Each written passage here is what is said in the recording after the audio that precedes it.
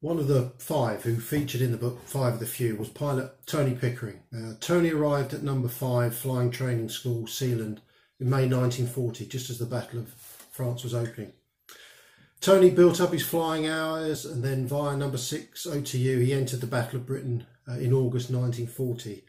Now, what follows is a short sound extract from the interview with Tony in which well, he describes his, his physical characteristics uh, and how they determined his future with the Royal Air Force?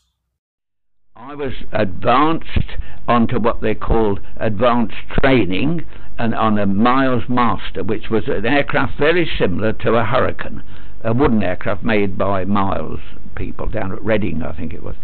But uh, the thing was, I was at Sealand in, in Cheshire, which was a number five flying training school, and we, we were there, we should have been there for about three months actually. I think we were there slightly longer, but that should have been about three months. And when we arrived there, there was a whole course of arrived. I mean, suddenly one weekend, about 40 pilots arrived for course number so and so. I don't know what course it was, say course number 40 or something like that. For this course, 40 people arrived. We went, we were told to report at 8 o'clock in the morning at the flight commander's office parade ground was in front. We were paraded by a flight sergeant who lined us all up, 40 of us. And he said, shortest to the shortest to the right, tallest to the left. Tallest to the left, shortest to the right.